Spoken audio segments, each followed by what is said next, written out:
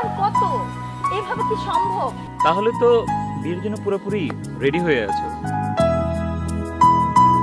তসিফ আমি বুঝতে পারছি না তুমি কীভাবে তো নরমাল বিহেভ করছ। আপনাকে না চেনার তো কিছু নেই। আপনি তো এখন মানে বিশিষ্ট ডক্টর শুধু আমাকে চিনে দিও না। লজ্জা করল না কথা বলতে? ছি! এই ছি ছি কাকে বললি? কাকে বললি